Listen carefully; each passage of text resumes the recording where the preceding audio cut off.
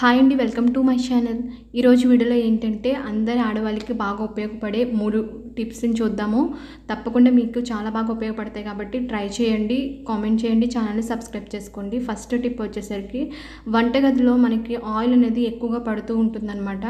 పడినప్పుడు మళ్ళీ అది తుడిస్తే ఏమవుతుందంటే మనకి మొత్తం రాయి మొత్తం అయిపోతూ ఉంటుంది.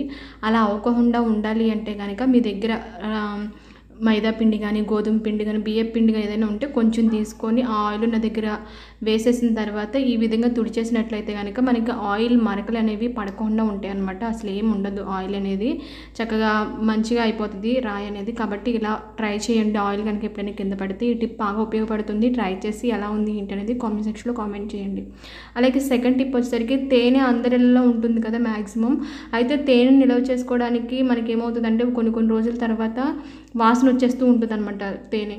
కాబట్టి అలా వాసన రాకోకుండా పాడవకోకుండా ఉండాలి అంటే కనుక మనం మిరియాలు ఉంటాయి కదా ఇళ్ళల్లో మిరియాలు ఒక నాలుగైదు వరకు మిరియాలు తీసుకొని చక్కగా తేనెలో వేసేసుకొని ఉంచేసారనుకోండి ఎంతకాలం అయినా సరే తేనె పాడవకోకుండా చక్కగా ఫ్రెష్గా ఉంటుందన్నమాట.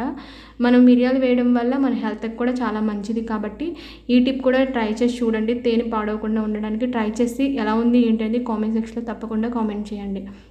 అలాగే నెక్స్ట్ స్టే ఫ్రీస్ కానీ విస్పర్ ఇలాంటివి ఉంటాయి కదా. అంటే రూము చాలామందికి ఏంటంటే మొత్తం అన్ని రూములు కొంచెం స్మెల్ వస్తూ ఉంటుంది. అలా రాకుండా ఉండడానికి ఒక చిన్న టిప్ చూద్దాము.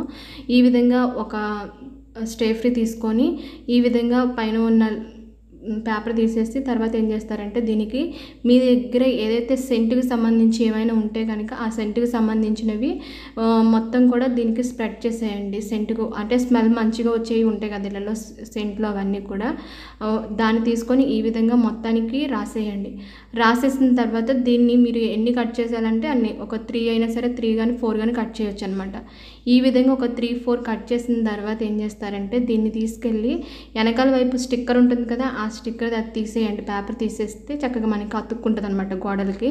ఇలా తీసేసి గోడలకి మీకు బాత్రూంలోనే కానీ లేకపోతే ఇళ్ళల్లో రూముల్లో చక్క పెట్టడం వల్ల స్మెల్ మంచిగా సెంట్ స్మెల్ వస్తుంది అనమాట ఈ టిప్ కూడా చాలా బాగా పనిచేస్తుంది. కాబట్టి తప్పకుండా ట్రై చేయండి కామెంట్ చేయండి. ఓకే అండి ఈ వీడియో మీకు నచ్చితే ఖచ్చితంగా లైక్ చేయండి షేర్ చేయండి ఛానల్ని సబ్స్క్రైబ్ చేసుకోండి.